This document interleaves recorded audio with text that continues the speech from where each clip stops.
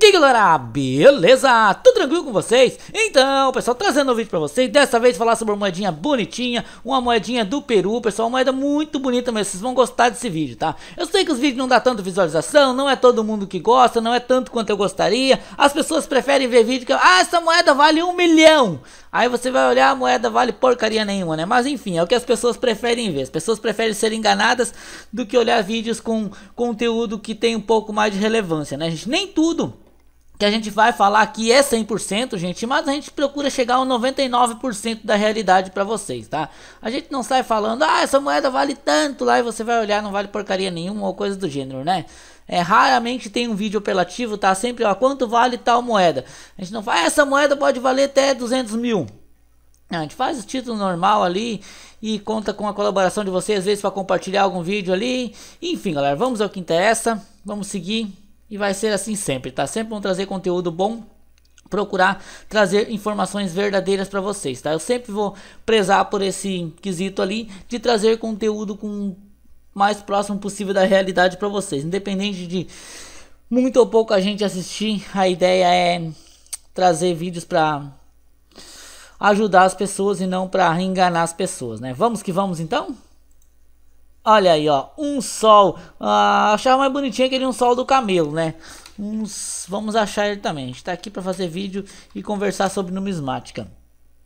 Ah, ó, o câmbio dele está legalzinho. Eu acho bonito esse aqui, ó. Um, mas daí é novo sol, né? Eu acho que é o novo sol. Eu acho bonito essa aqui, ó. Não, não é novo, então é velho. Eu não sei onde é que tá. Não é um camelo, é uma lhama, né? Tem vídeo dele no canal, peraí. Da lhama eu sei que tem. Vamos achar por aqui que vai ser mais fácil. Aqui, ó. Ah, um sol de ouro. Ah, tá. Esqueci do ouro. Até assista o vídeo aí se vocês quiserem, galera. Que ficou legal também. Essa aqui, ó.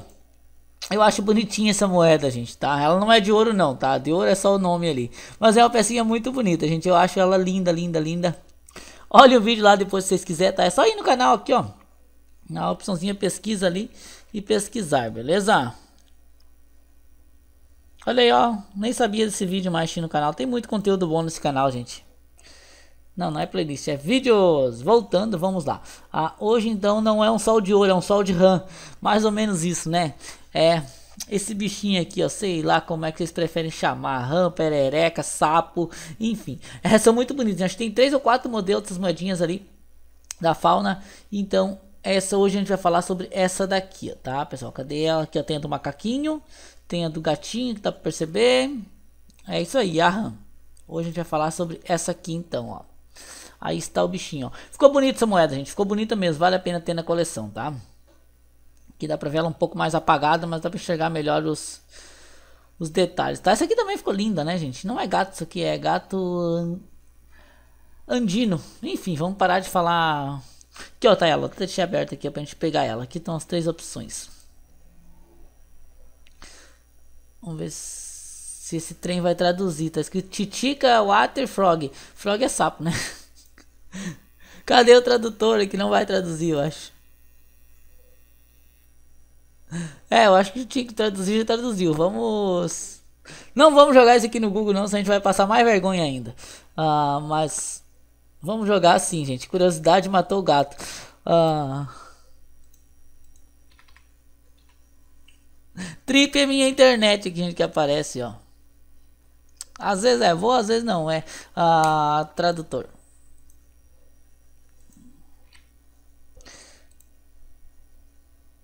Tá, agora vamos ter que brigar de novo com esse troço aqui que eu nunca sei. Eu quero para português. Não deve ser inglês, né? Mas. Malwater é inglês, cara. Ah, tadinho. Ô, oh, coisinha complicada. Gente, ó, sempre apoio desse. Desse tradutor aqui. Vocês ficam rindo de mim no mínimo aí do outro lado, né?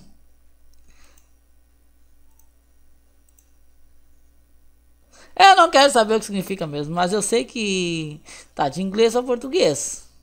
Não tá traduzindo nada. Mas water é água e frog é sapo, tá? Enfim, outra hora a gente descobre o Titica Water Frog ali, ó. Ó, aqui ó, achamos o bicho, ó.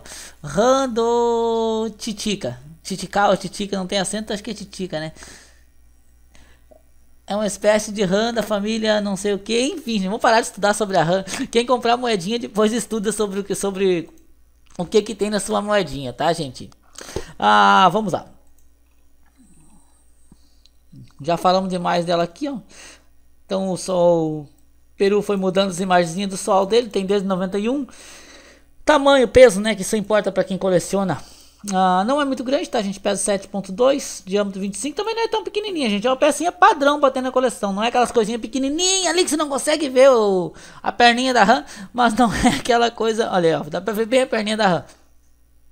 Também não é aquela coisa pequena, grande assim que fica fica bonito na coleção, mas não cabe em qualquer holder, né? Ah, preço, gente, preço, preço, preço, preço, preço. Ah, aqui tá marcando 7,74. Preço bem com 74, será por quê? Mas enfim, gente. Preço dela aqui no Brasil também, gente. Eu não consigo achar mais que 6 reais, menos que 6 reais. Não consegui achar ainda por aí, não, tá? Fica em torno de 6, 7, 8, 9, 10 por aí, tá? Se for flor de cunha ali, já vi até ser dividida por 12, mas em torno de desse valor ali, tá? 6, 7, nesse, nesse meio tá padrão, tá? A gente não vai pagar 25 reais, por exemplo, não. Aí tá fora de preço, tá, gente? Conseguir abaixo de 6 reais também é muito difícil. Então, um preço médio para vocês terem em mente, tá? Ah, 7, 8, 9, 10, 11, 12 ali tá perfeito, tá, gente? Mais que isso já é alto demais. Menos de 5, menos de 6 ali, se você for vender, também tá abaixo demais, tá? Preço padrão, então, Desta vez pode usar o coin aqui. Vocês sabem que nem sempre o coin serve como referência, assim como nem sempre os catálogos. Já fomos longe desse vídeo, né? Assim como nem sempre os catálogos servem como referência, tá, gente? Mas, ah, já que estamos indo longe, vamos continuar mais um pouco. Mas, eu até vou deixar o chat aberto para vocês, quem sabe. Mas, enfim, gente, ah, os catálogos ali, então, Assim como o catálogo estrangeiro, o catálogo o coin aqui faz um preço médio. Para vocês entenderem como é que funciona esse preço do coin.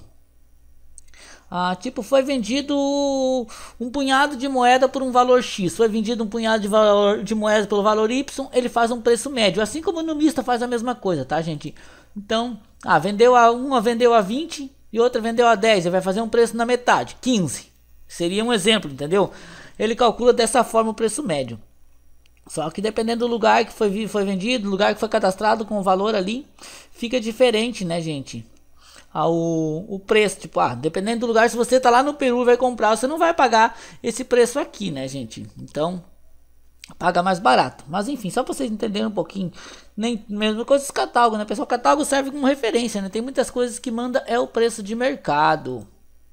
Aí você olha lá, ah, mas preço de mercado sim, né? A gente tem lugares que as moedas são ah, bem mais. Gente, o Cunha é muito bom para vocês terem noção de preço, ter noção de moeda, gente. É perfeito. Eu já ensinei vocês usarem aqui.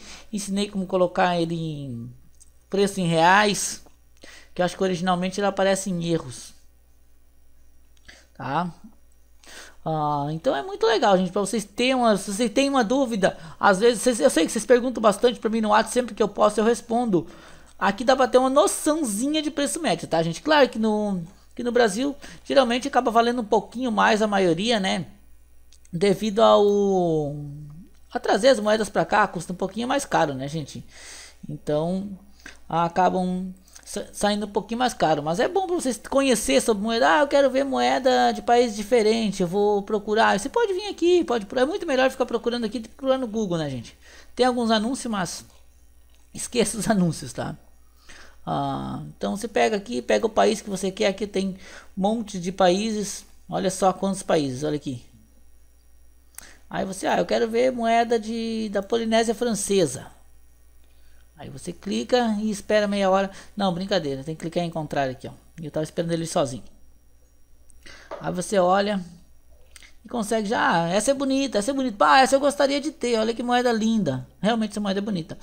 Aí você olha dessa forma, tá? Você consegue pedir para algum para alguém ah, você não consegue para mim, quanto preço e tal, você ah, gostaria de ter uma moeda no seu canal, no seu canal, não, no seu catálogo de coleção ali, você pode pesquisar por aqui, né, gente? É um lugar, ah, pesquisar por país. Quero ter uma de cada país. Ilhas Cook, Ilhas Cook já vendi moeda, vendi moeda bonita das Ilhas Cook.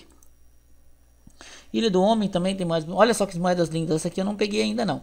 Eu geralmente eu vendo aquela da FAO. Não sei onde é que tá. Vamos ver. Essa aqui não lembro se eu já peguei ou não. Olha aí que peça linda, gente. Claro que aqui no Brasil isso aqui vai valer mais, né? É uma peça Fomos longe no vídeo, né? Eu vou trazer uma hora uma live pra gente conversar sobre isso. Olha que linda, gente. Circulação normal, caramba! Muito linda, gente. Vamos trazer uma live uma hora pra gente conversar sobre moedas aqui. O que vocês acham? Que tá ficando longe já, vamos encerrar. E a gente vai trazer uma live pra gente conversar uma hora só sobre moedas aqui, conversar um pouco junto, beleza? O que vocês acham? Deixe nos comentários aí quem assistiu até aqui, né, gente? Um grande abração, então, e até a próxima!